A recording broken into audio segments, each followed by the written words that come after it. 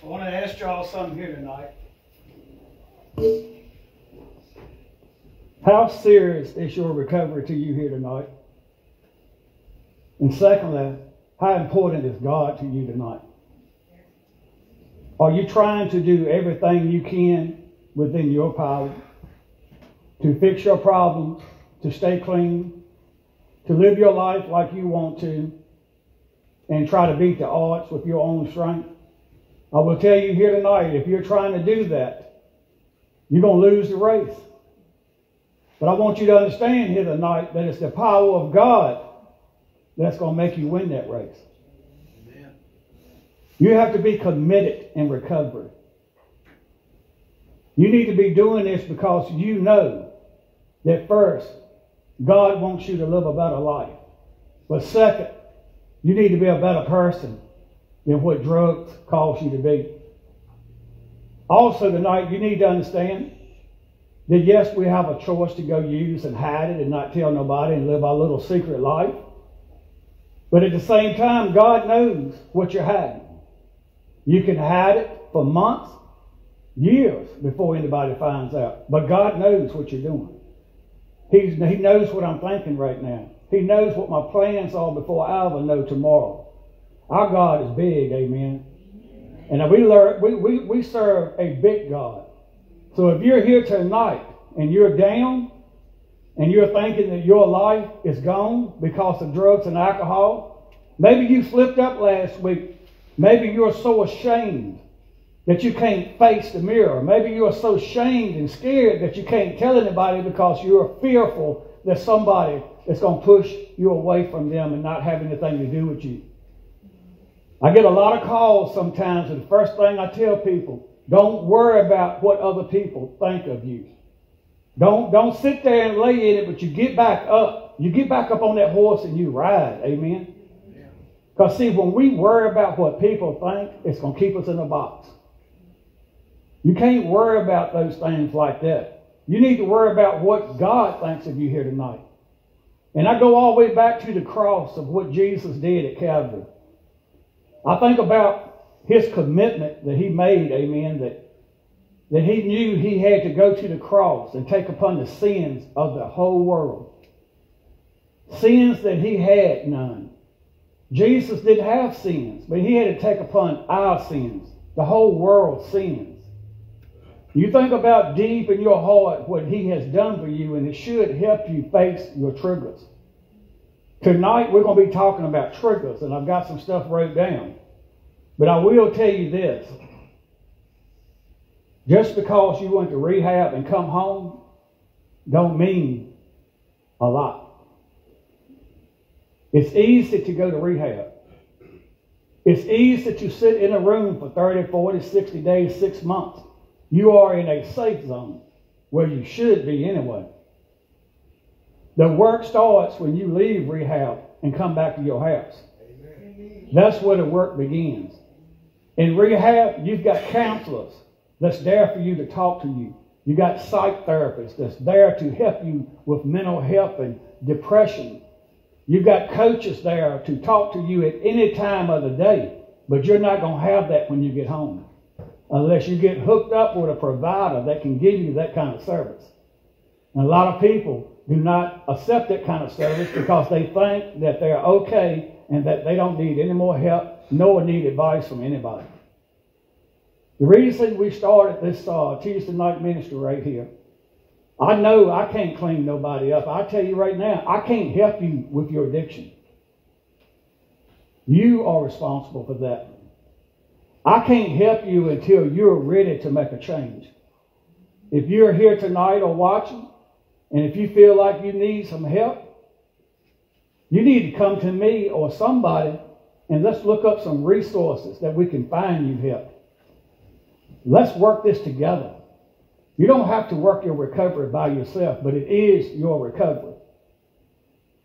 Recovery right now, other than God, should be your main priority because recovery is what's going to save your life. Recovery is what's going to help you learn the tools in order to face trials and temptations and whatever the situation is. But when you come from rehab, And if you're so, so much clean, that's great. But I'm going to tell you what gets a lot of people. They come home, they've been gone for however long, they see somebody they hadn't seen in a while, and they want to go help, hang out. And they're thinking, well, this ain't going to hurt nothing. How can I tell my friend I don't want to have nothing to do with him? So you find yourself being in a situation where you're not very comfortable with. Then the next thing you know, somebody breaks out something, does something in front of you. You go with them somewhere and you got drugs involved. I'm going to tell you something that's dangerous. You can't be clean and still live a addictive lifestyle. You can't have both of them. You've got to learn to give up your life as it was, as you knew it. And the only way that you can truly give up your life, and that's through Christ. I'm not saying just give Christ your prayers and give him some of the stuff you want. I remember years ago, I would beg God, I said, God, take the taste of this uh, alcohol and pills out of my mouth. And I said, Lord, if you can't take the taste out or take the pills from me, kill me. That's how miserable I had gotten. That's how far on the edge I was living. And I kept praying, God, how come you're not waking me up and you're not cleaning me up and you're not taking the taste out? You want to know why? Because I didn't fully give God my whole self. I gave him the parts that I wanted to give him, and I held back the parts that Jamie loved and was obsessed with and didn't want to give because I felt like I was going to live a boring life. I want to tell you here tonight also, I don't care how boring my life is now, but I'm content. Amen. I love living now. I love myself now. I love my house now. It's nothing more than I'm proud and never been as proud as I am today. I'm not sitting up here standing on the soapbox and asking for claps. I'm not doing this to say, look at Jamie, because Jamie hasn't done anything. I just made up my mind which way I wanted to go. Amen? And that's everybody in here. You got to figure out in life what's important to you. So what if you lost everything that you had? So what if all your friends has left you? So what if your family has pushed you to the side and said never come back? You have a loving Lord and Savior Jesus Christ that loves you the way you are right now. And through him and with him, you can rebuild your life. You may not get the people back, you may not get your things back or your money back that you lost. But God's going to put new people in your life. And you're going to look back at your old life and you're going to say, Thank God I'm where I'm at today. Thank God that I'm not living in my room anymore doing drugs. Thank God I'm not that person that's dependable no more, that's, that's breaking my family up, hurting my wife, tearing my mom's heart out. Thank God that I don't have to be that person no more. I mean, you do understand here today that each and every one of us, we have a free will choice. Amen. When we wake up in the morning, we have a choice not to use. It's like I always tell y'all when you wake up in the morning and you walk with the Spirit, you're going to be with the Spirit. But if you walk, wake up in the morning and you choose to walk with that flesh, guess where you're going to be all day? You're going to be with that flesh. And I always heard this say too the people you hang around and the things you do is going to end up causing you to do the same thing and be the same way. So who are you putting yourself around today? I want to be honest tonight. I'm not calling anybody out. I'm just being honest because you've got to realize today who and what are you putting yourself around that's causing you to be triggered?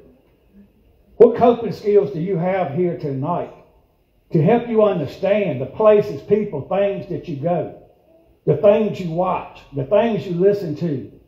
What is it? Is that drawing you back to your old life? See, when you're in recovery, it doesn't mean standing still, but it means going forward. That's what recovery means. You got to keep moving forward. You can't look back at the person you used to be. That person's gone. If you're a child of God and you had Christ to come in your heart and you are truly saved, truly born again, you are a changed person. You are a new creation, amen. You're not the same person that you used to be, so stop acting like you are. Stop carrying yourself like that uh, old addict again. Stop going around the places that your addict mind used to take you. Stop hanging around the people who brought you down. Tell you something, sometimes your biggest enemies are your family. Amen. And I'm just being real here tonight. A lot of times people go to rehab, come back home, ain't nothing changed in the house. You have changed. You've got a new mind. You're clean. At least you've been clean for a while. But they said they just can't stay clean because the people they love the most is still using or still drinking. And they fall back in every time. I want to tell you something today, you can take yourself away from that too. It's all kind of places out here, resources that you can go get help. You've got like places like the ARC House for Men. You've got shelters. You've got halfway houses. You've got all kind of things that you can do if you really want to stay clean. There's no excuse that you can't. Biggest thing I hear is, well, I don't have the money to get an apartment. I don't have this, I don't have that. But there's resources out there. If you work as hard as you did getting high on trying to stay clean, you'll see things change in your life. I can tell you that from experience. I started from ground zero. I didn't have the help that they got now. I had to go to my parents and borrow money. I had to go to Shannon's mama and borrow money just to keep our house. I didn't have no classes to go to to to tell me that it's okay to be the way I am or it's okay, we'll help you. I didn't have that help. I come home, I had drugs all around me, right in my yard. Every day I pull in the driveway, my head looks left. But I had a constant mind. I said, God, protect me for what I see every day. God, don't let that embed in my mind and cause me to react on it. You want to know what? When I come down that driveway now, I don't even know it's another house beside me. I'm just being honest. The excuses is about to run out now. All of us in here that's addicts and past alcoholics, we know right from wrong. We don't need a meeting to stay clean. Let's be honest. We know how to stay clean, and that's, that's don't use. And another little subject I want to talk on tonight. Might not be a good subject. I might get some frowns. Might get some dislikes. But if I won't true to myself, I wouldn't say it. Some people think that they can substitute drugs with other drugs. Marijuana is a drug. Whether it's about to be legal or not. It's a mind altering drug. You've got to spend money out of your wallet that you don't have to buy it. So, what is the difference? Alcohol is a drug. And I'm saying this because a lot of people think that they're okay if they just drink a beer. It don't work that way because that leads to other things. Every time I ever tried to quit, I went back out because of drinking. And I'm telling you a piece of my life tonight that I'm, I'm hoping that would help somebody. I'm not saying this to make you think I'm better than you are, but if it's something I can say to change somebody's life tonight, I'm going to say it. Because if I don't, then I've got to think about the rest of my life when I see somebody pass away. Why didn't you say something? Why didn't you warn somebody? Most everybody here are watching. I don't have to warn you. You know the dangers. Everybody knows that, that fentanyl used to be put in heroin. And I don't like using drug names, but it's important today that you know the facts. They're putting it in everything now. And it's a joke to the drug dealers. They're putting it in there hoping that somebody would die so that their phones will ring off the hook because that's what they call the good stuff. What in the world have our world come to that where people would choose money over lives? And what are we doing? We're falling right back in that trap and going back out and taking a chance with our life. We need to understand today that, that this life we live is very important. If we don't care about it, you got family members that, members that loves you. You got family members that's praying for you. That stays up all night wondering if you're going to make a decision to use and go back out and die. See, you have more people worried about you than you realize. But God, you know, is a loving God. God loves us. And I haven't got on these notes I had tonight because I feel like the Holy Spirit is moving tonight and He wants me to tell the truth here tonight. Amen. I'd rather you be mad at me here tonight than to me get a phone call tomorrow and have to plan your funeral. I've done too many funerals in the past, and they ain't fun when you have to stand over a grave when it's somebody that you cared about. First thing that hits your mind is what could I have done different?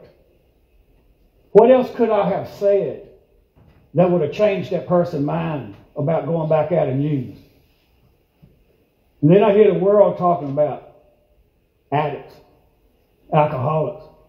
Why can't they just learn? Why can't they just stop? We got to have locks on everything now. Everybody in the world that does not know anything about drugs are putting the addicts and alcoholics down like they're a piece of trash. 15 years ago, I never had a problem with neither one. And I found myself being that judgmental person like those people I'm talking about. Well, I want to tell you what happened to me. I hurt my back. I had no idea three months later I would be spending $300, $400 a day getting high. I had no idea that my life would end up the way it ended. So if you're out there watching tonight, or maybe here tonight, maybe you got that judgmental attitude that they did it to themselves. I want you to realize that it can happen to you as well. So instead of putting people down, find out a way that you could pick them up. You know, God's all about love. For God so loved the world that he gave his only begotten Son, right? Well, we have a job here as Christians. We have a job to love one another.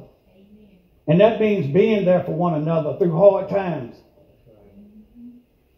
That means giving up our life to help other people. I think about the crowd we got here tonight. If we just went and talked to one person, can you imagine the impact that would have each week if you just picked one person to talk to? If you just told one person your life and where you're at, don't worry about being perfect.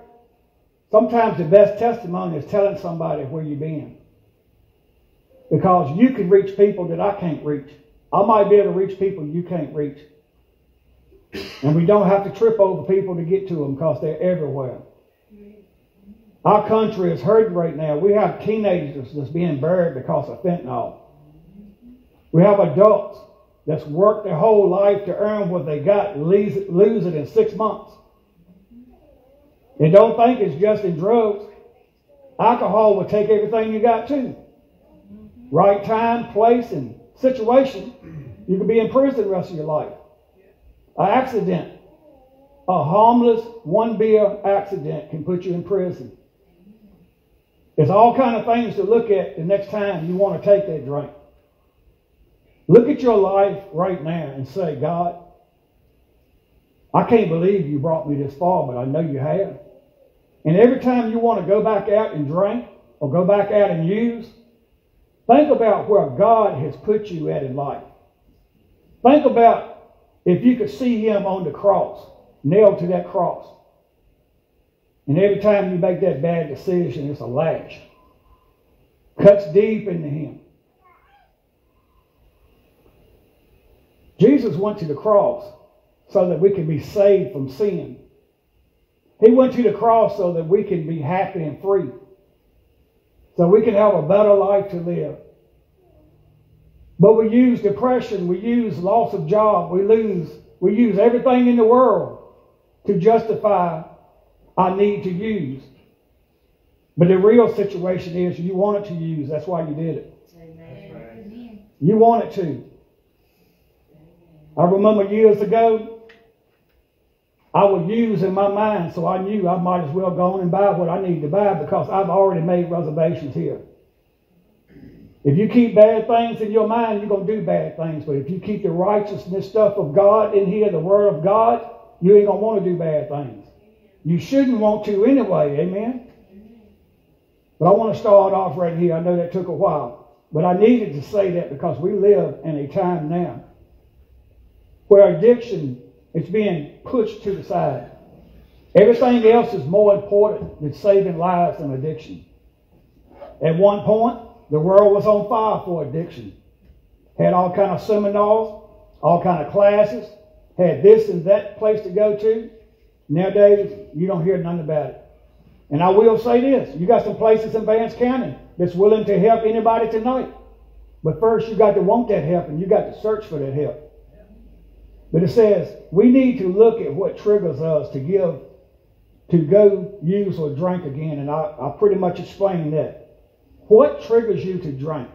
Is it trauma in your life?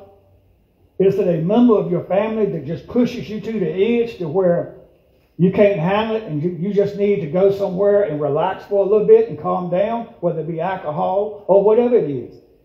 What in your life is causing you to be pushed over the edge?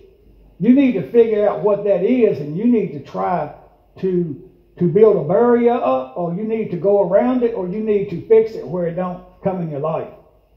I think about young King David as he was getting ready to face Goliath. As Goliath was so huge and he was so small and all he had was a stone and a slingshot. I thought about his courage and his faith that when he took Goliath out, not only did he kill Goliath, but he cut his head off and held it up. You know what he did? He got rid of, he got rid of the situation. I'm not saying to go harm nobody, but what I'm saying is you have to understand if you keep going after drink, if you keep going after use, you got to get rid of whatever is causing you to be that way. Because if you don't, it's going to cause you a lot of pain. It's going to cause you not to stay sober, not to stay clean. You're going to constantly have it dwelling at you because you haven't got rid of the problem. Sometimes it just takes sitting down with somebody and talking.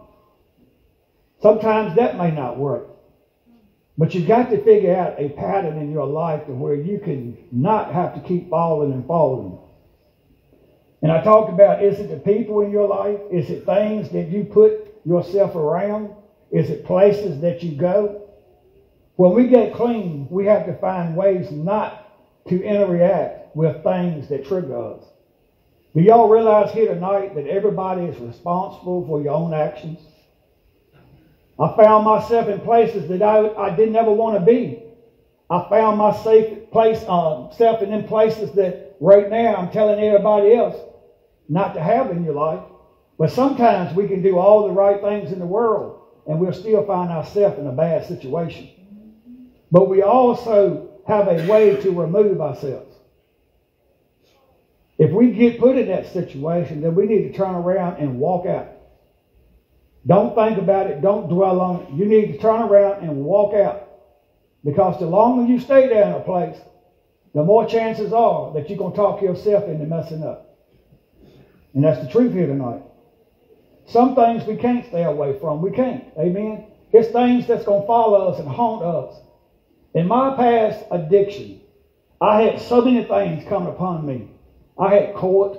I had issues going on. I was scared to death that something, I said, Lord, don't let me get clean and then let me go to jail. Please, Lord, I, have done this for you. Please, Lord, don't let all this come on me now after I've been clean. But I knew I, I had consequences for what I did. Amen. I knew that I was responsible for the things that I've done. But praise God, standing here tonight, I don't, I don't think you listen. Praise God for His mighty power and His love. Amen. I didn't have to face none of those problems.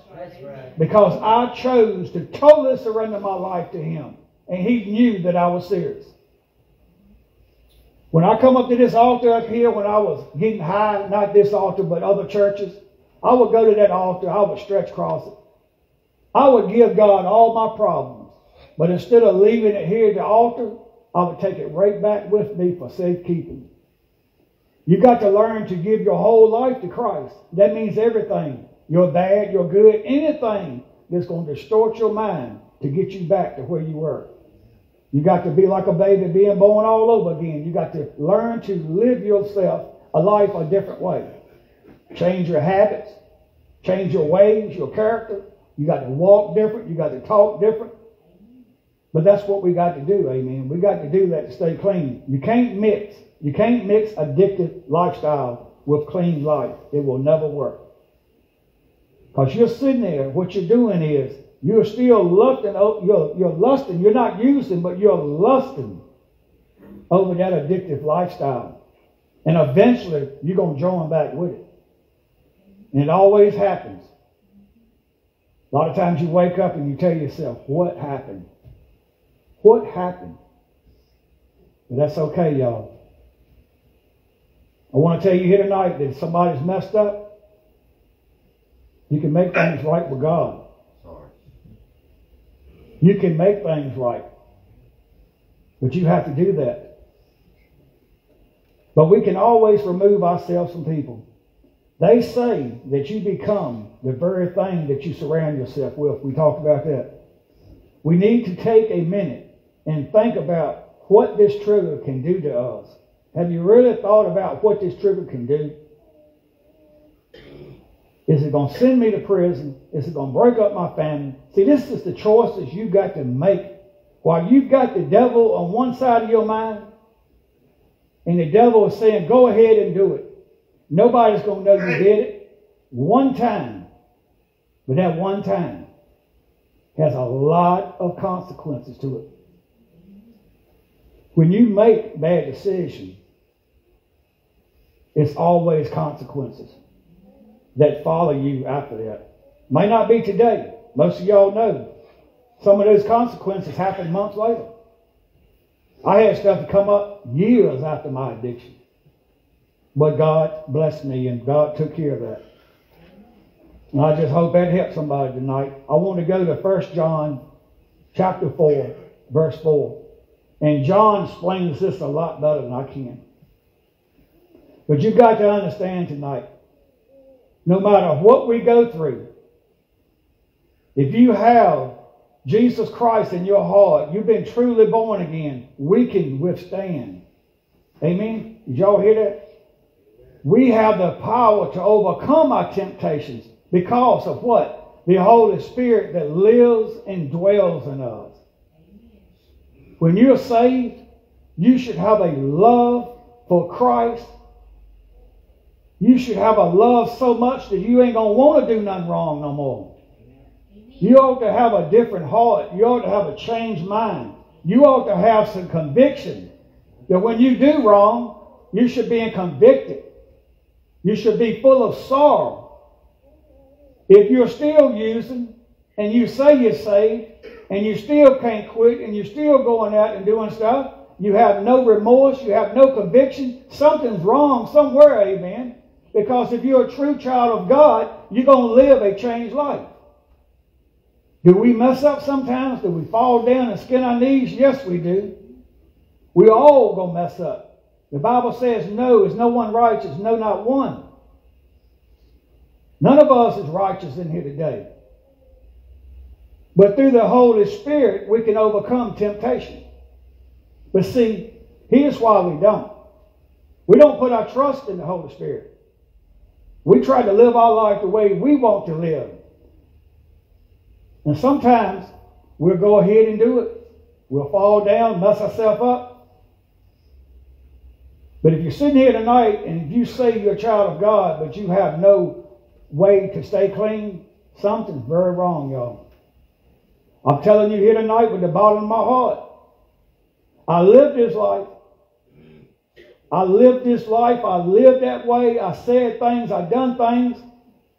And I'm telling you here, it's going to come a time to where somebody's going to wish, wish they had made sure they were right with the Lord. You might say tonight, Jamie, that sounds you sound kind of cruel tonight. You sound you sound like you saying we we are like this. I'm not saying y'all are like this.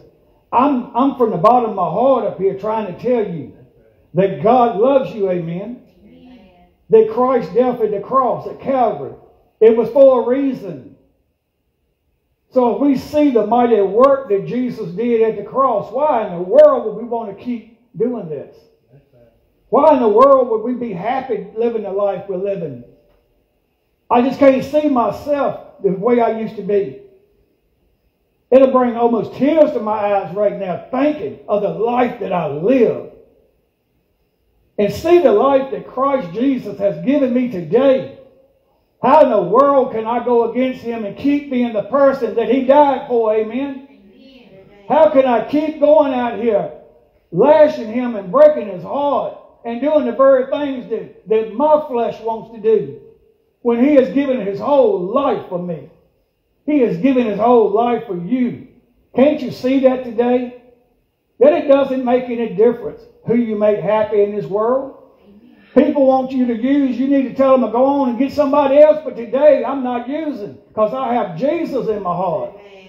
I have something to live for today. I don't need that drug or drink to fill another void in my heart because my heart is full with the Lord here. That's what we have to understand. We don't need drugs no more in our life. We don't need alcohol. You see what it done to you. You see where it put you. You see that it costs you to lose everything in your life. So why in the world would you want to go back to that life? That's right. See, Satan is so crafty here. Satan will put doubt in your mind. He'll make you feel alone. He'll give you no peace. He puts things in your head. You get to where you're so bound up you can't think right. But you got to open them ears up and eyes. You got to open that heart to know tonight that Jesus has already defeated the foe. Amen. Amen. He has already got victory here. So if you know that Jesus Christ has victory, put some trust in him. Put some hope in him. Go to him tonight at this altar and say, Jesus, I'm weak. Jesus, I'm coming to you right now. I'm weak. I like to went back out today. I like to use or I like to drink. But Jesus, I am weak. Please give me the strength to face. Please give me ability to say no. If you honestly go pray like that, you humbly go to Christ, He's going to give you the strength, amen, because you have the Holy Spirit living in you, amen, if you are born again. You might be here tonight, and you might say, Jamie, I run away from God because of some things that He did. Well, first of all, God never makes a mistake. And no matter how much we want to blame our problems on God, we find ourselves doing it. We know in this earth that we're going to lose loved ones. We know that sickness is in this world, we know we're going to go through sickness. We know times are going to be hard on us. We know that we might lose a job. So if you know all this, why do we blame God? A lot of people say, well, God left me. No, you left God. We walked away from God through our despair, our, our, our temptations, you know God is everywhere you go. Think about that next time you do something. You don't think God knows. He knows. He's right with you. Ask yourself that old uh, logo or that old saying back in the late 80s or 90s. What would Jesus do? Ask yourself, would Jesus go out here and do this drug? Nope. Would Jesus go out here and drink and break his family up? Nope. We serve a Jehovah Jah here today. We serve a mighty King here today. And I praise God for Almighty King. I thank God for what He has did in my life. I thank God for the people here that He's working in your life. And even though tonight, if you don't feel God working, He's working on your problems now. Give Him time. He will help you. His timing is different than ours. We need to understand. But we've got to depend on Him no matter what. Let's read 4 4 right here. You are of God, little children, and have overcome them because he who is in you is greater than he who is in the world. Amen. Ain't that great? I want to read you this little section here for a second. You know, I was telling you about the Holy Spirit once you're saved. The Holy Spirit comes to live and dwell with you. Amen. Now listen, it says the Holy Spirit is within us from the moment of salvation and enables us to say no to temptations. Do I need to say that again? It enables us to say no to temptation. You need to remember that. We can say no today because of the Spirit, the Holy Spirit that lives in us. Back in the day when you weren't saved, you didn't know God, didn't want no part of Him, you didn't have nothing but your own power.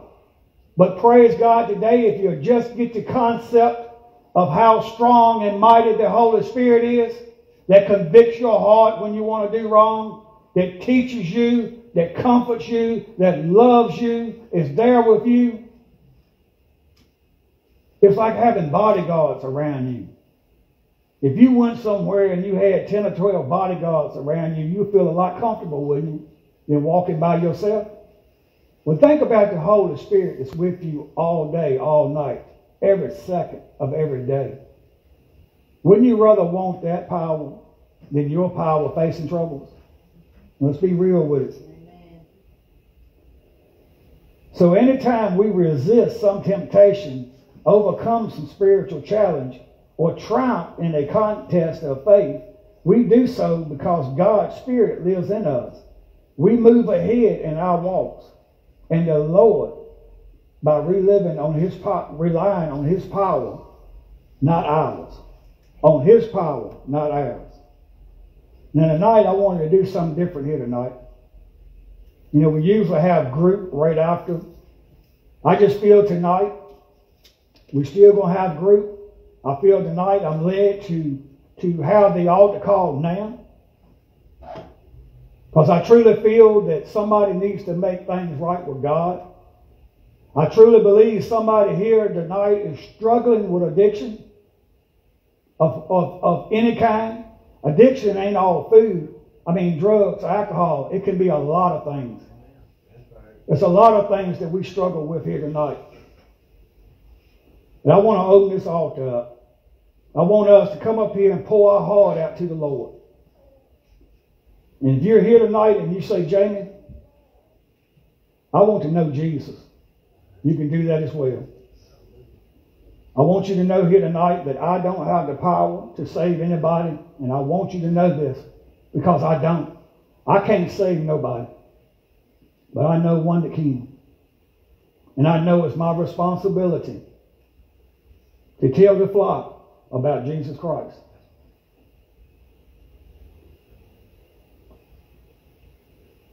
The reason I'm doing this, because I truly believe that it's some hurt hearts out there I believe that it's things people need to get off their heart with the Lord because they've not been happy. They've been all closed up. They feel like they're pressed down on the floor. I want to tell you, don't ever think that anything's too big for God. God can fix you up here tonight. God can clean your heart up tonight. God can clean your mind. He can get all that baggage off your shoulders. Only if you're willing to give it to Him. He is sitting right here, right now, where we are. All you got to do is raise your hand, and He will pick you up. There's no better feeling to know that you have a loving Savior that's willing to pick you up.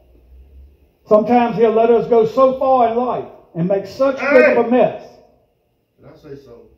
I'm sorry, y'all. For ones that don't know, I have Tourette syndrome. That's all right. You good. And um, no way that I don't disrupt the service, but that's I just want to explain myself. You good. I'm a lot better than I was years ago. Amen. God is good, ain't he? So I'm going to go and open this altar. Rob's going to play a song. But I'm going to go to a short sentence prayer before we do that. And if you want to be saved, you can repeat after me. Dear Father God, I know you sent your son Jesus to the cross of Calvary and right now, I'm coming to you, Lord, and I'm admitting that I am a sinner. Jesus, I know you went to that cross. I know you died. I know you took upon the sins of the whole world who that had none. I know you was buried. I also know you rose on the third day. Right now, Jesus, I'm asking you to come in my heart and save me. Make me whole, make me clean, wash me white as snow. Give me the peace that I've been looking for. Give me the love that I've been needing. So thank you, Jesus, for saving me. Amen. We're going to follow it up with this altar call and want to make sure that you understand the second thing you need to do after being saved is get baptized and confess your faith to the whole world. You need to get in your Bible, read the Word of God. You need to get discipled and understand the Word of God. You need to get in church. You need to get in Sunday school. You need to get active and live your life for the Lord Jesus Christ. So won't y'all come on up here?